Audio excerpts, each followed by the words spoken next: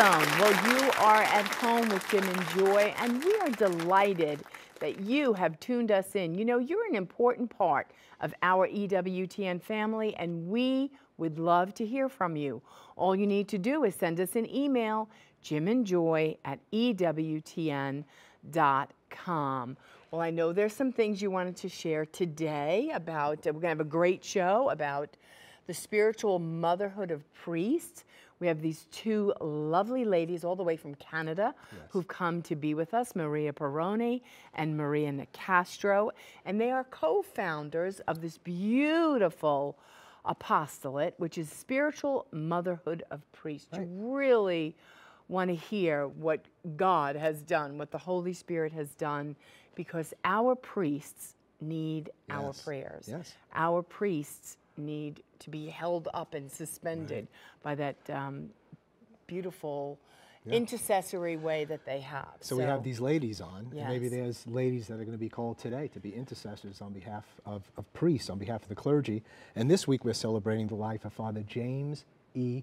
Coyle, a wonderful missionary priest from Ireland, County Roscommon, Ireland. So this fits with the show. We're remembering his coming, like so many missionary priests at the turn of the 20th century to come and bring the good news of Christ mm. and the Catholic Church to America. And uh, Father Coyle was just an incredible human being. Um, bright, well educated, educated in Rome, was ordained in about 1896 and uh, came over shortly thereafter to America. Was planting churches and working in a school uh, in Mobile, Alabama. After about six or seven years, came up to Birmingham, Alabama at 1904 to 1921 was the years that he worked there uh, at St. Paul's, which would later become our cathedral, mm-hmm. and had an incredible ministry there among Catholics and non-Catholics alike. But about 1915 or so, an anti-Catholic bigotry really rose up very strongly. And people were finding out this is a way to win elections, go anti-Catholic and mobilize people was a group called the True Americans that rose up. They were anything but true Americans and really putting down Catholics in numerous ways. And it was a very difficult bigotry and, and uh, grew more and more uh, violent. Mm -hmm. Ku Klux Klan, True Americans, and Father Coyle was the face of Catholicism. He had a beautiful face, a very handsome man, very articulate man. Um, and he would share about the church. But at this time, there were accusations against the church like the Knights of Columbus. He was a member of the Knights of Columbus, were a violent group. They're stockpiling weapons. Uh, little girls are being kidnapped, being brought into different Catholic facilities. Uh, the Knights of Columbus are going to start an insurrection. Uh, the Pope is moving to America, and all this all stuff. lies. And Father Coyle was very, he was the face of Catholicism. He would write, he would have open discussion. He discussed through the papers. And uh, we come to find out over time that his life was under threat for two and a half years the FBI came uh, to Bishop Allen at that time and said, he's, he's, his life is in danger. Mm -hmm. Finally, Father Coyle, who believed in the sanctity of all human life, equality among all people, uh, did a wedding between a dark-skinned Puerto Rican Catholic guy and a convert girl uh, from another Christian tradition. And he was asked to do this wedding. This little girl, this girl who was now 18, had met with Father Coyle years back as a little girl and wanted to know about Catholicism, he shared with her. Later on in the trial testimony, uh, she said that her father said that he would kill Father Coyle if ever she went back there again. Anyway, Father Coyle says that he'll do the wedding. The night before, he says to some of the clergy, I think, you know, old man Stephenson, that was the name of the girl, Ruth Stephenson, might kill me. So he does the wedding. Uh, this is uh, 95 years ago, coming up this Wednesday or Thursday and uh, he tells the few people that were there, his sister, Marcella, who came to accompany him to pray for him from Ireland, uh, another priest, I think those are the only two there, he said, stand off to the side mm -hmm. because he felt like this could be dangerous. Did the wedding, told her go back and tell, you know, make sure the father knew. And then, as he did each evening, he would say his prayers out on the porch in, in, in a, you know, a swing. Right. So he would do his breviary prayers each night. And evidently, the father, who was a minister, in another tradition who worked in the courthouse right next door to St. Paul's. And uh, he was a marrying parson. So all this, all her father did was marriages. It's so ironic that he would be so irate about this marriage when all he did was marriages of, of all kinds of people. And so he was waiting for Father Coyle and uh, shot three times at Father Coyle while he was saying his prayers. And one of the bullets went right around his temple, out of his skull, and hit St. Paul's Church and assassinated Father Coyle in cold blood. Um, the sister Marcella found him. terrible scene. He died shortly thereafter, about 40 minutes after at St. Vincent's Hospital, the hospital that the pastor before him had begun. This started, uh, the guy who shot him walked through a window that was open in the courthouse, turned himself in with the gun, and said, I just shot the priest. It was one of the largest trials of the 20th century. Would a man be convicted for shooting a priest? It's, it's a long trial, uh, a week long trial. He was found not guilty. It was a Klan jury, predominantly judge. You can find all these facts in Sharon Davies' work, uh, Rising Road, I think that's up there, as well as fathercoyle.org, a website I began. I have a little mm-hmm. book there as well called Killed in the Line of Duty, because his bishop said, Father Coyle was a martyr to duty. He was killed in the line of duty. He performed this wedding between two people who were able to marry, they, they had the right to marry, and he was shot in cold blood with nobody to help him. Mm -hmm. uh, so today we're thinking about vocations and about callings, and we see this more and more throughout the country, of priests right. being attacked and persecuted for a variety of reasons. We need uh, men and women, especially women, to intercede and to pray for our clergy, and to pray that God would raise up more clergy uh, to go into the harvest. So that's our show for today. You're not going to want to miss it. So we invite you, if you want that book, you can go to Religious Catalog. It's Rising Road by Sharon Davies. It's a great read. It's item number 79792. You can always go to the website, fathercoyle.org. Well, we're going to take a quick break, and when we come back, we will have more with two beautiful ladies who came all the way from Canada to share their wonderful apostolate. Don't go away. We'll be right back.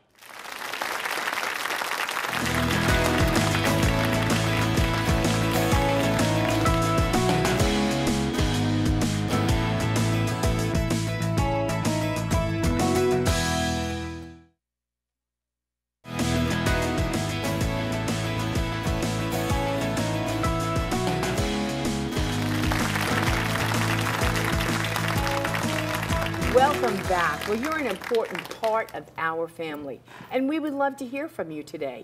If you have a question for today's guest, give us a call during this live broadcast. If you're in North America, call us at 1-800-221-9460.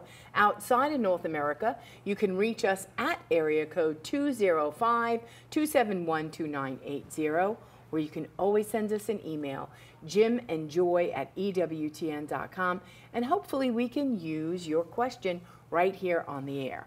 Well, today we bring you all the way from Canada, Maria Pirrone and Maria Nicastro, and these lovely ladies are co-founders of an apostolate called Spiritual Motherhood of Priests. It's spiritualmotherhoodofpriest.ca. You can go to their website and look them up. Well, ladies, welcome to At Home with Jim and Joy. We're excited that you're yeah. here. Thank and you. what we Thank want you. you to do, one can go and then the other one could go, is just tell us a little bit about your spiritual journey, how you got to be where you are right now, co founding this unbelievable ministry. Well, in my case, um, I was, um, next month, we're going to be celebrating, my husband and I are going to be celebrating our 42nd Praise wedding anniversary. We have a daughter. And um, I came to Canada in 1958 with my, uh, my parents, my four brothers, and me. And uh, we lived a very loving family, but cradle Catholics. Okay. I didn't understand anything. I really didn't know much about my faith. Um, the only thing I do remember is watching my mother recite the rosary, but in private. Mm -hmm. I went to an all girls school with nuns, but still didn't understand. So let's fast forward. In 1992, I had two back surgeries, and I ended up in the hospital with for a month. Mm. And at the time, um, I remember there was a family friend that was in the hospital, and um, he was a patient. And he says to me, Maria, when you go into the surgery on Friday, just say, Jesus, mm. Jesus, Jesus. And I did. And we just left it at that. Yeah. But I was in there a month. And then at that, just before, the night before that I was supposed to be discharged, I went to bed and all of a sudden I got woken up by loud noises. And I didn't understand what was going on, so I got up and my roommate during that month, she was in a coma. So basically, I was alone in that room. And, and I thought, oh, what's happened? So I, I went around and I saw that all the medical equipment was on the floor, but she wasn't in her bed. So I checked the bathroom and there she was, not knowing how she got there. So I called um, all the medical people and they came, they came rushing, they took her and they did what I guess what they had to do with her. But I continued, um, you know, and I was shaken up by that. But I was so tired and I went to sleep. It was a very light sleep. But all of a sudden, I woke up.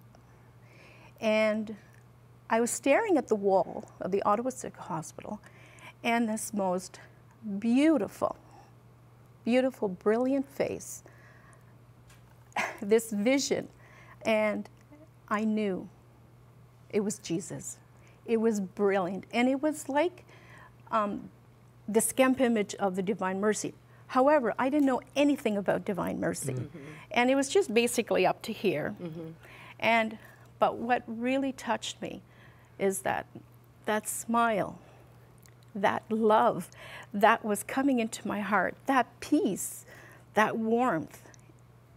And I just was mesmerized by the whole thing. I was just crying and crying and and I started thinking about all my my life and my sins and but I looked up at the wall again. I was trying to focus and I said, no, it, it can't be. It just can't be. But he was still there. Mm-hmm. And he was just smiling at me. Mm-hmm. And he showed me that love. And that's what, you know, it's too hard to describe yeah. really because it's, it's just amazing. Yeah. I've never seen, I've never seen that again. And, but I understood his mercy. Yeah. And, and then three years, about three years later, I was at church at St. Mary's, and uh, Father George Kosicki, came to Mar St. Mary's, and it was a Lenten mission. And um, we ended up going downstairs to watch the movie Time for Mercy. And he showed us the Skemp image of, of, the, of the Divine Mercy. And that face came up again. I've never seen it before, and all of a sudden, wow. I found out it was the Divine Mercy image. And I started crying, and it made me think again three years prior to that. So that's what it was. Mm-hmm. And I just started going into, I, I wanted to soak up everything about Divine Mercy because He made me understand, you know, His love, His mercy. And it was like I was infused mm-hmm. by that mercy mm-hmm. and I needed to be forgiven. But I wanted to, I was in love. I wanted to tell everybody, my family, my friends, you know, it's like when you fall in love with mm-hmm. someone and you just want to let the whole world know. Well, there was nothing more important than the love that I that I experienced, and that's when I started to delve deep mm-hmm. into into that. Powerful, powerful encounter. Maria Very. Nicastro, tell yes. us a little bit about your own journey. My own journey. Yeah. Well, I I've been married for almost 33 years. I got married very young, Italian, you know. Mm-hmm and um, I have three children. A lot of Italians on the show today, you know. yeah, there's a lot of Italian yeah. good stuff. Um, yeah, so 33 years been married. I, I, I, run a business with my husband in the heart of Little Italy in Ottawa, and uh, I'm going to be my uh, grandmother in January, first time grandmother. Um, I have three beautiful daughters, and I grew up in a family of we were four children. One of my siblings um, had epilepsy since he was 15 months old. Uh, of course, Italian family, extremely loving, but we had our trials. We understood suffering. Um, as time went on, and um, and I should point out, I I went to a public school. My brother had epilepsy, so the the better help for my brother was at a public school. I knew nothing. I did go to church every week with my family, Italian church. So it was, it was something that didn't penetrate in my heart. Um, time went on. Um, when my father was, was 50 years old, my father uh, became ill with prostate cancer. And I think that that was the beginning. I was 20, 26 at that time. That was the beginning of a real faith life. Even though I had had, had other little experiences, um, God to me was God. He wasn't mm-hmm. a personal God. Although I saw him as a father, a father of creation, my mm-hmm. father, I had faith, but I wasn't catechized. And um, my, when my father got ill, my father was the apple of my eye. Just thinking of him, I get emotional. And so I decided that, you know, I'm going to try this prayer thing. I found a prayer card uh, to Our Lady. And I, I began to pray that, that prayer. And what I started seeing, what I felt, was a peace come over me. And I thought, well, is this in my mind? Because I do feel a peace. So I did notice that. So if I fast forward three years uh, later, um, my father was in the hospital. It was a time, 10-day vigil we had for him, many family members. We filled up, we filled up that room. And I decided to take a moment to go to the chapel, uh, just to be alone and pray to God, pray to Him, because He makes me feel peace. And mm -hmm. I, I mm-hmm. did need to feel that peace again. And so I decided to go downstairs. It's interesting because we both were were touched at the same hospital. We did mm -hmm. not know each other, mm -hmm. had no clue who each other wow. was. God works in mysterious ways. But I, I knelt down in the chapel and I just got to the point, I guess, of surrender. And I said, you know, uh, God would never call him anything but because I didn't know him. I didn't know Jesus. Um, you know, I don't know what you're going to do at this point with my father. But I said, you know, I know you could do miracles. I've heard that you could do miracles. And I said, but do what you wish, but please let us know that, that you are with us. Uh, especially because my mother had to deal with my brother and all of the health problems. And of course, me being the oldest, I ha you mm -hmm. have a mm-hmm. different type sure. of heart when yeah. you're the oldest. You know, your, your heart is always with your siblings. And so at that very moment, I said, Lord, you know, uh, if you show us that you're with us, then I give you, I started naming off body parts, to be quite mm -hmm, honest, my hands, my mm -hmm, eyes. I, it was just a point of surrender. Mm-hmm. There was nothing else I could do. And at that moment, um, I was frozen. And different things began to happen in the room, which I won't get into because of uh, time and pressure. Many things began to happen, but I couldn't move. And what I saw, what I understood after the fact, was, um, was the persons of, of the Holy Trinity um, Father and Son, and um, the movement of the Holy Spirit. And what was happening in that moment, I didn't know, I found out after the fact, was that I was being infused with different truths.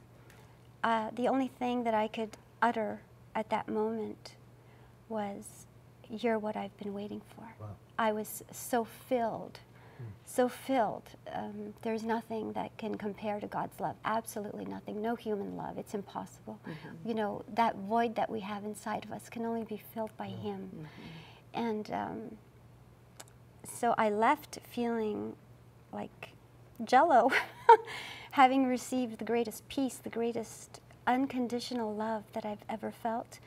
And I walked up to my mother and I didn't know how to tell her, but I said, Mom, you know, I said, I think I saw God and Daddy's going to die. So I did know many mm -hmm. things after the fact that I didn't know how I knew. Yeah. I didn't know about infusion. I didn't know about any of that. But I knew that I was different mm -hmm. and I would never be the same. Mm -hmm. Um, my father did die, and something that I wished would never happen, and, and I fought it to the end with the Lord. It was interesting because at the moment he died, I felt joy because I knew that God was real. Mm -hmm. I mm-hmm. knew that he was going to be with him. It was the most beautiful moment. Mm -hmm. uh, and after that, the Lord really did take me under his, his wing. I had no clue about anything. And I was just soaking up God for weeks or for months. Mm-hmm. And it was at that time that he made me understand that sin exists. He, I remember the memories being flooded into me, even going back to my childhood, even taking candy from a store. I didn't know what sin was, and he was teaching me. He taught me about human dignity. Mm-hmm. He taught me about feminine dignity, what it is to be a child of the Father, what it is to be a daughter of the Father. And I was just filled with mm-hmm. an incredible peace, joy, love, um, especially that it was the Holy Trinity. I did not know Our Lady. I came to know Our Lady later. Um, and the interesting thing about Our Lady was that my mother, for some time, could not get pregnant. Huh. And she had prayed to Our Lady, uh, the Immaculate Conception to be exact. And uh, in a dream one evening, uh, Our Lady appeared to my mother in the form of a statue, which they carry. You know how they do the processions in Italy? Mm-hmm. And she cried out, Immacolata, Immacolata, give me a child like the one you have in your arms.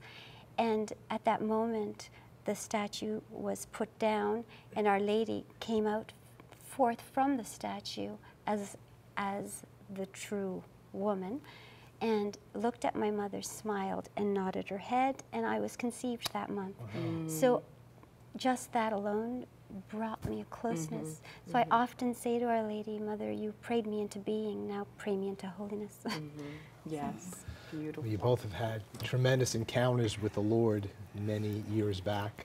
I know from Joy and I reading about you both that it a lot flows out of that deep intimacy with the Lord, mm.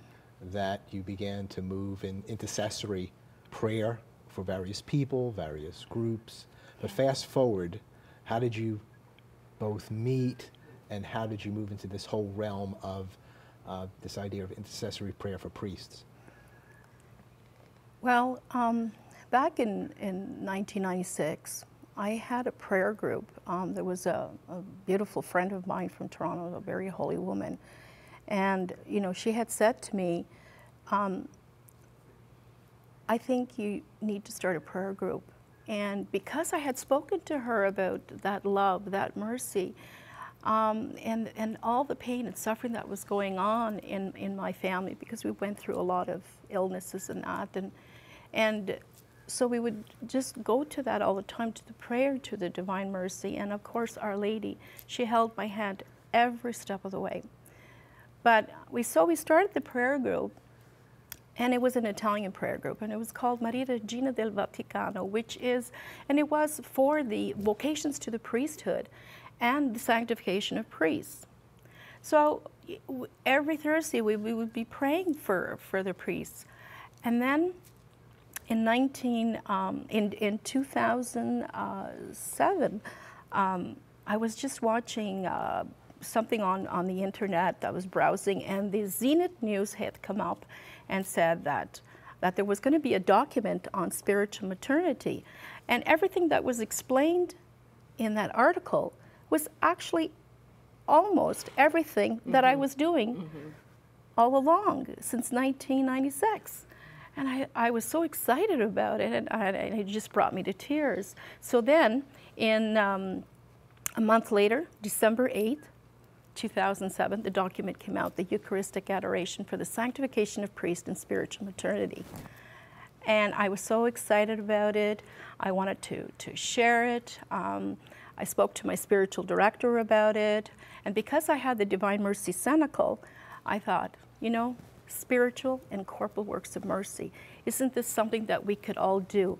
You know, especially that they were asking for, for women to, to pray and intercede for our priests. So I shared it um, with my spiritual director. He gave me the green light, and I explained it to, to my cenacle. Mm-hmm. And um, so in 2008, um, for about a year, we were in, we were praying, but not the concept that we have mm-hmm. now. Mm-hmm. And you know, since Maria and I, you know, we've done a lot of different ministries together. I wanted to share it with with Maria, and um, and we talked about how could this unfold. She liked it, but the timing wasn't mm-hmm. right. Mm-hmm. Well, let's pause right there. We're speaking about the spiritual motherhood of priests, And uh, we're going to take a break at this point. We'll be back. We want to hear from you because I have a sense that the Lord might be calling numerous of you, no matter what age you are, you ladies out there. And maybe this has already been working in your heart. This pure love for priests and to intercede for them. You're going to want to hear more about this story, about this wonderful apostolate. We'll be right back. Please don't go away.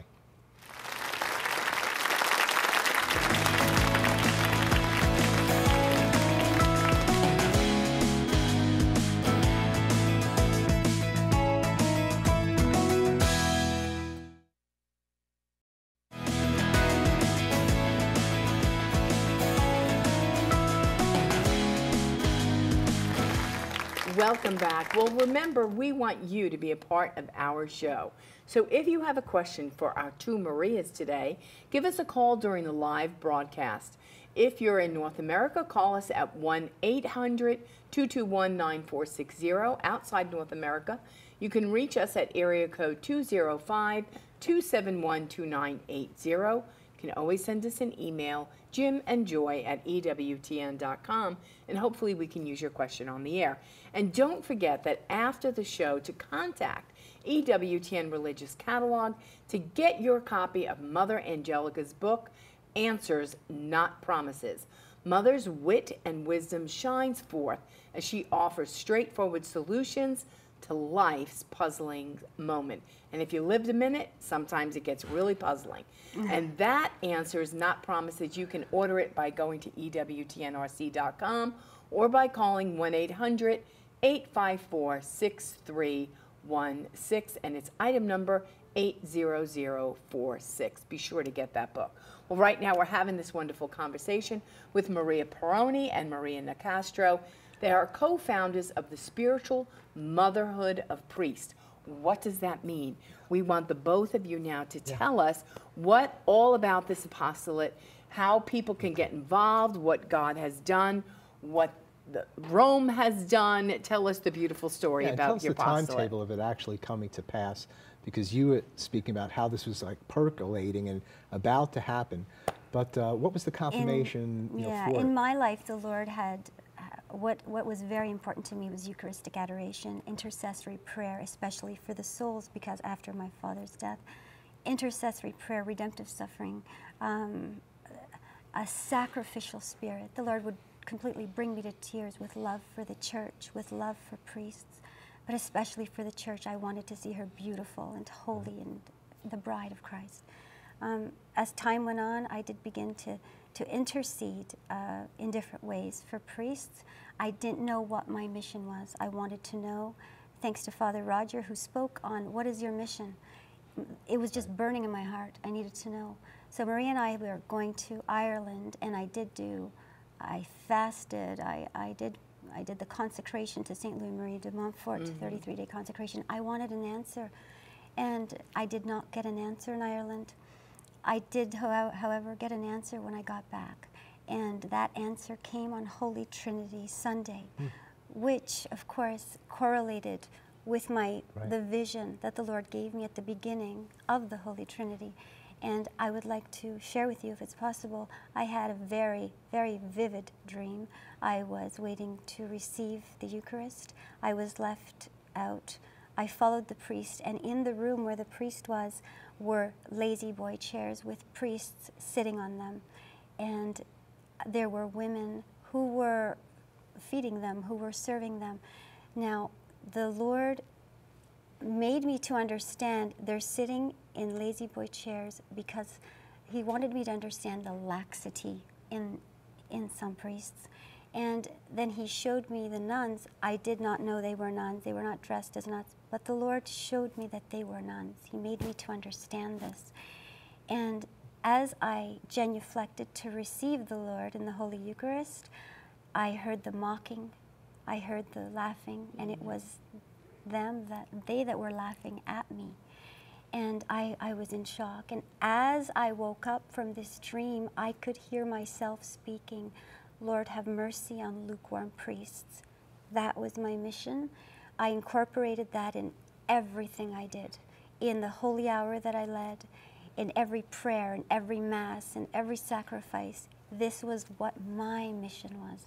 This was, this was what God made me for. Mm. And I felt it burning in my heart, I knew. And so, fast forward, Maria comes to me and says, What do you think? And um, I thought it was amazing when I heard that the con congregation of the clergy sent out this document for all bishops to read and that they were asking for help for their priests. I thought it was wonderful, but the timing wasn't right. I, I just knew, I sensed.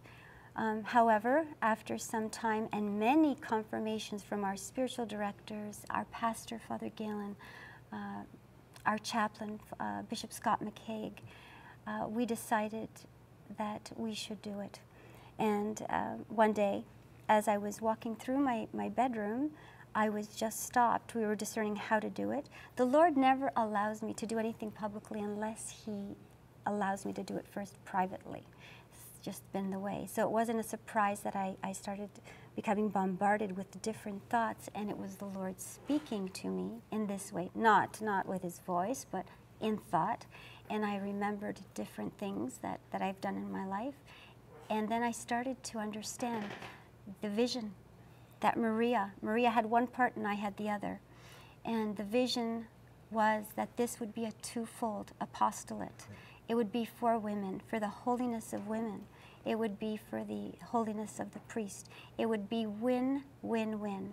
Win for the priest, win for the woman, win for the church. It would work through the duty of the moment.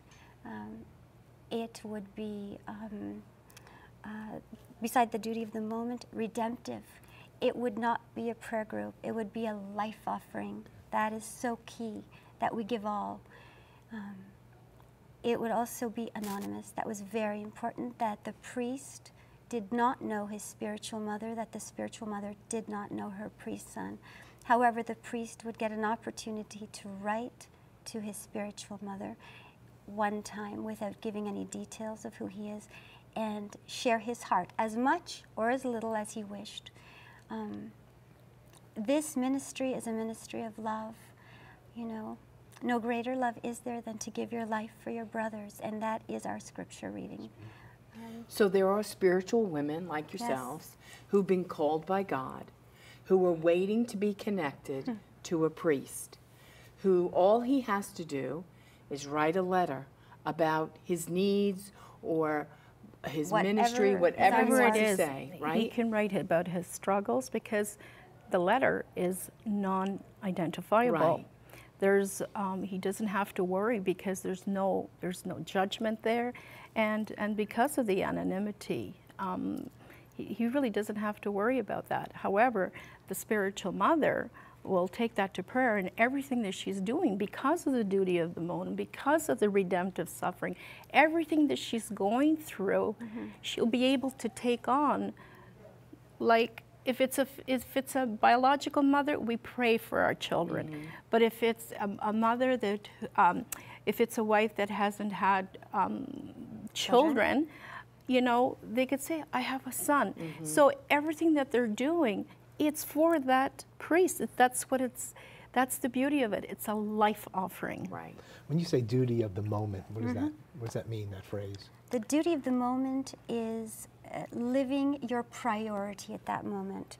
So, depending on your vocation, if you're a mother, your priorities will be different than if you're a religious sister. Or, and so, it's just living and asking the Lord, and of course, it's something that you just become accustomed to. The Lord puts it in your heart, then do this and do that. It's just something that that you feel is right at the moment, that God is placing in your heart that you should be doing at that moment. How does that relate to the priest that you're praying for. All right, well, let me give you an example. St. Therese. St. Therese would sweep the floor and offer it for her priest. And our sacrifices are nothing. We're just a grain of salt. But when we, when we um, unite our sufferings with Our Lady and our Lord, they become everything. We can save souls through those sufferings, through our hiddenness, you know, and doing something small with great love it doesn't need to be a great feat, you know. Yeah. How do you know what to pray for priests? You say that they can write, that will go to the spiritual mother, they mm -hmm. can mm-hmm. tell you particular things. Mm -hmm. But there are, how do you know, kind of in general, mm -hmm.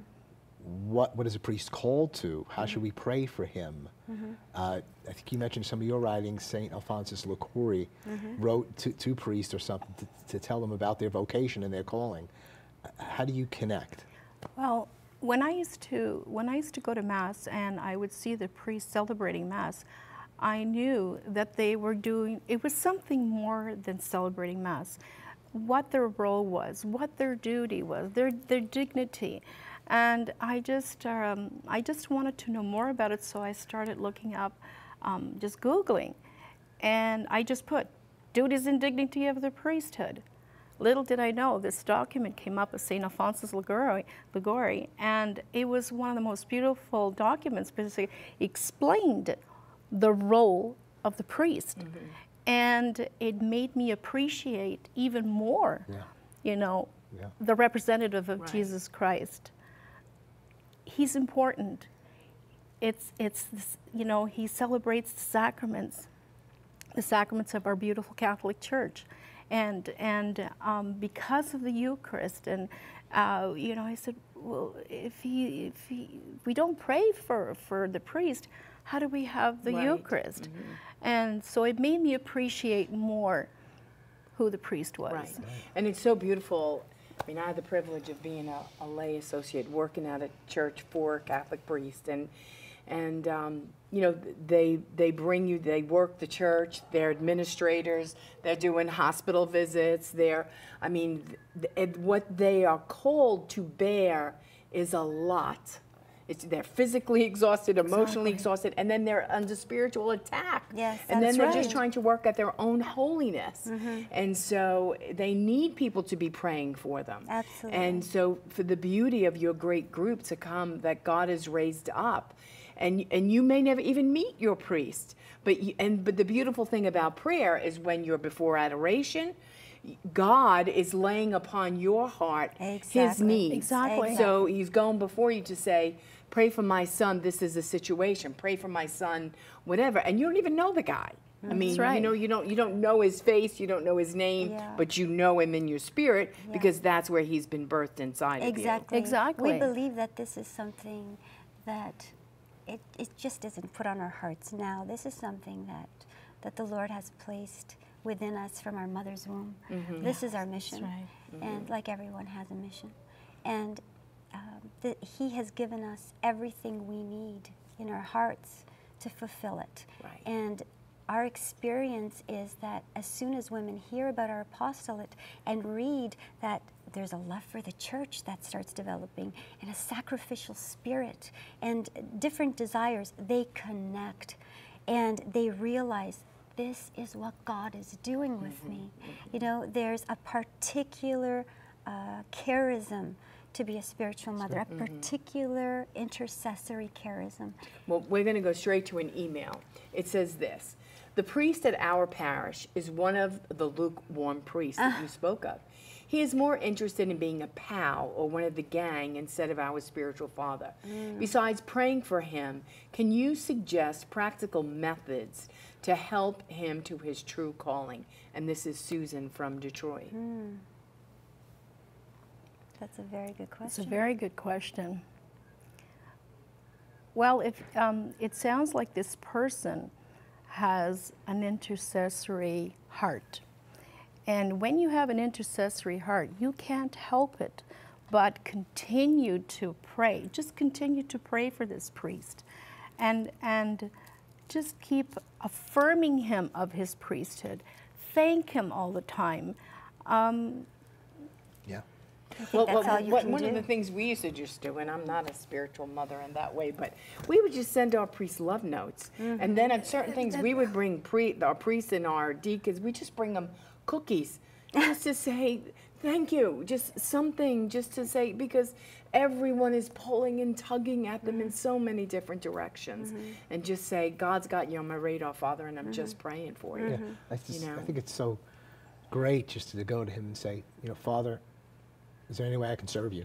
Mm-hmm. I'm really for you, and I'm praying for you. Mm-hmm. If there's anything I could do, or these group of women who pray, mm-hmm. you know, we are here for you. Mm-hmm. It doesn't mean that we agree with everything the Father does, or mm-hmm. that you know, he's lukewarm, or that he's whatever.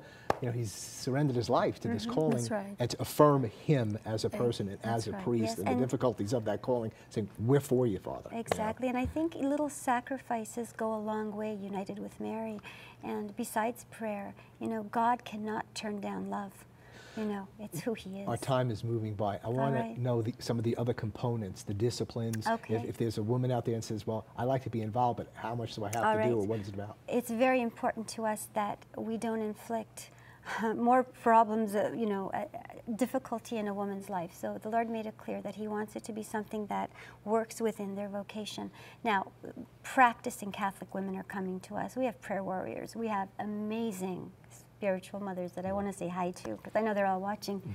Um, and it's very, very simple. We do a daily prayer, uh, a daily prayer offering.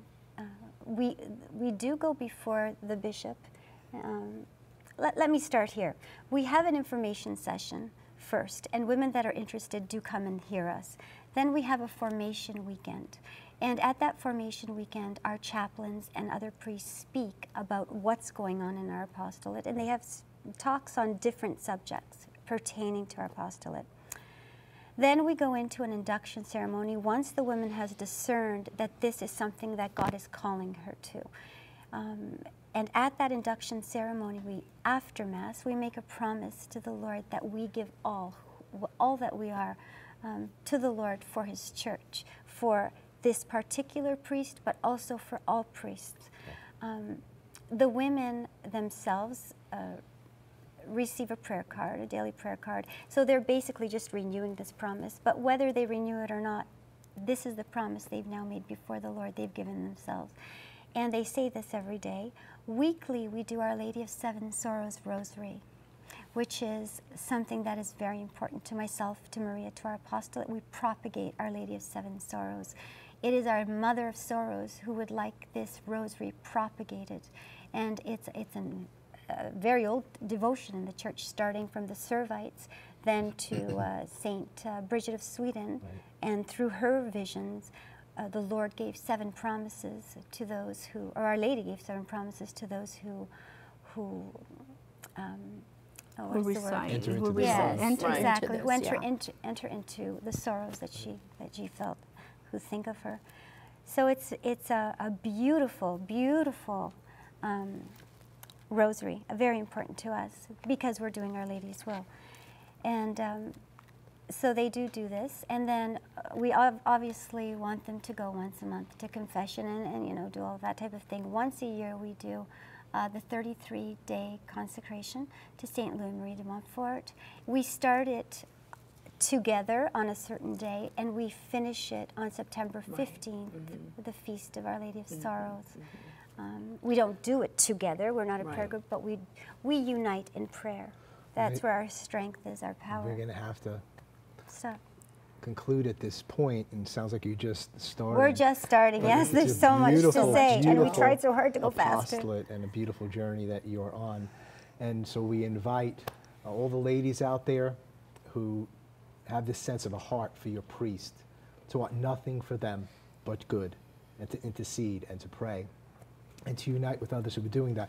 If there's a priest out there, mm -hmm. and you're mm-hmm. saying, gee, I, I'd like to have some ladies that they want nothing from me but to bless my life and to intercede for me. Mm -hmm. Go to mm-hmm. spiritualmotherhoodofpriests.ca. We'll be right back. Don't go away.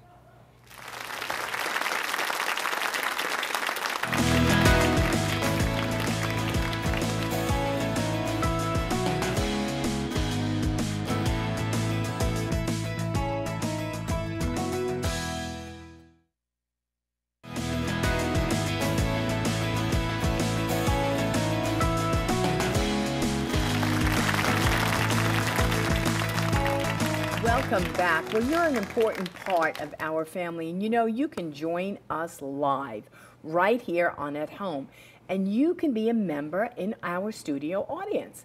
All you need to do is contact the EWTN Pilgrimage Department and do that by pilgrimages at EWTN.com or give them a jingle at 205 271 2966 and you can be a part of our audience. You could take a, a beautiful journey up to Hanceville um, and just come on down, up over wherever you are to Irondale, Alabama. It's a beautiful spiritual journey. So many people are finding it so meaningful, even more meaningful now to go up to Hanceville Yes. and visit Mother's resting place. And when people are coming through here in Birmingham, they're saying, you can really go there and be right. Yeah, Yeah. It's, it's so beautiful, so meaningful. So And we've don't had put people from Spain. We've had people all from over the world. Kuwait. I mean, it's pretty amazing. Yeah, right? sure When is. you, when you ask them to come, they really come. Come on. great. We're yeah, here. come. So We're waiting for you. So welcome, Father. Welcome, Nat Oh, Home thank Jim you. and Joy. How are you? oh, I'm great. Thanks You're be to God. busy. Mm-hmm. Very busy, you know, but uh, but having fun. There you go. That's That's important. it. Having fun and the joy of the Lord is our strength. Mm-hmm. Uh, Yes. It's really a part of Mother's spirituality, That's isn't right. it? It's serious, it's earnest, but it should also be a joy and should be fun and have humor along the way. Of And course. that was really her spirituality. We have a good time. Yeah. Mm-hmm. So Yeah. you've heard of this apostolate, spiritual mothers of priests, or that, that ministry? Oh yeah, yeah, I've heard of it before, and it's a it's a beautiful work of God. It's so so essential, so needed in this day and age, and you know I was so edified and uh, by by the by their testimonies. First of all, I mean th- this was this was this was powerful, amazing how God worked in both of their lives and both the Marias. And, uh, and then to see what the fruit of that now and where he's led them to pray for priests and in a, in a very maternal way. You know, there, there's a, when, when it's done in a maternal way, it's, it's so much more pure. There's much Right. more care and concern in that. Right. It's done, it's done very motherly, you know, and uh, that's always consoling and comforting for the priests. He was speaking Yeah. in the back to the Marias, Yes. if, I, if I got it right. And somehow the word protection came up, Mm-hmm. and they said that that's really important to us. So it's, it's nurturing, Yeah. it's maternal. Part of that maternity is protection. And so That's they're like, we want to protect you know, our children, our Mm-hmm. sons, our priests. Isn't that nice to have that kind of reinforcement there with you, that there are people who are just saying, we want to defend, we want to protect. They're not speaking physically Mm-hmm. necessarily, they're speaking about the weapons of the warfare, you That's know, right. being spiritual weapons and to intercede for this priest. And they, they're anonymous to one another. Right. But uh, it, it must be really so meaningful, though, you have somebody It like is. that. It's, it's very meanif- meaningful. Uh, like I said, very consoling and comforting. Uh, you know, as a priest, we, you know, our duty, our, our duty, I mean, we're conformed to, to Jesus Christ, the high priest, through our consecration, and we go and we, we, we preach. We're, we're called to preach, uh, to, uh, to shepherd the faithful, um, to, uh, you know, celebrate divine worship. Uh, you know, we, we do this by also, uh, we go alleviating the, the sick and the suffering, uh, offering the sacrament of, of reconciliation, sacrament of penance. You know, and this is, uh, this, this is beautiful work. This is uh, in be, being in union with Jesus, acting in the person of Jesus Christ, but at the same time, we're experiencing what Jesus experiences. And, uh, you know, this could be very prayerful and, and very intimate, but it's, it could be very exhausting too. Yeah. Be You painful. know, and, Yeah. and painful. But it's, it's, it's all part of the prayer of, of the priest's life, is, is becoming united to Jesus in that way and feeling what he feels um, and carrying the sins of the people, the burdens. And, uh, and, then, and then priests, on top of that, many of them have to wear other hats. Right. You know, some of them are principals of schools. They sit on board of governors. They're overseeing projects uh, at the at the parish. You know, for construction and things like this, and expansion and stuff. And so, uh, so yeah, you know, it really kind of weighs on you. Well, it's And, a lot. it's and a- you, a they're lot, doing yeah. RCIA, they're Yeah, doing all the it's, discipling. yeah. I mean, it's, it's a lot. It is a lot, yeah. It is a lot again, but again, it's it's a beautiful life, and Yeah. and uh, a life where you got to have fun. But but we do need those prayers, you know, because uh, sometimes you know you get tired and there's the devil, and Right. but we rely on those prayers of all the the faithful out Yeah. there who you know support us uh, Yeah. again with their intercession, but uh, you know also give, providing moral support and encouragement. That's always good to hear. You know, and those cookies are good too. I enjoy them. yeah, you know. Uh, I mean, don't send too many, you know, because especially when, when you're tired and you don't have a lot of time. Hey, that's your food, you know. I can't believe you're making an appeal for cookies right on that home with Jim and Joy. This is unbelievable. That's No, but great. if Father Anthony did that one time. He was talking about candy, and everybody Yeah, wound up everybody sending wants candy. It's candy. like, you know, we don't "Ah." need a lot of candy, you know. yeah. No, but it's true. But I mean, just the beautiful appeal for priests, um, for prayer. I mean, it's mm-hmm. so, and it is. I mean, you have a mother. They don't want to be your mm-hmm. mother, but they they've been called by God to Spiritually, to spiritually pray for you, to spiritually adopt you, and to love you through your faith journey, mm-hmm. so that you finish strong. You finish, you know, uh, full of God, full of hope, and the a holier man than when you began. Yeah. a- Right? Amen. Amen. That's exactly right. And you know, as I was saying, the the priest, um, you know, he's he's in union with Jesus Christ. They're stri- and always striving for a deeper union. And uh, you know, Jesus, even Jesus had women there, women supporting him, women Mm-hmm. praying for him. You know, and this is this is what this reminds Mm-hmm. us of here, especially his most blessed mother, who was always with him throughout the journey. Amen. Right. That's so well said, Father. Yeah. Why don't you give us a blessing and Oh. strengthen us? Lord God Almighty, we thank you for blessing us with the priesthood and this ministry of uh, spiritual motherhood. And we ask you, God, to bring us your joy, to give us your strength so that we may persevere in doing your work. And we make our prayer through Jesus Christ our Lord, and we ask you to bless us. And may Almighty God bless you all, the Father, the Son, and the Holy Spirit. Amen. Amen. Well, thank you for being at home with Jim and Joy. You are an important part of the family. We pray that more and more you sense his divine love for you. God bless you and all of your loved ones. Keep it on E EWTN. Bye now. Let's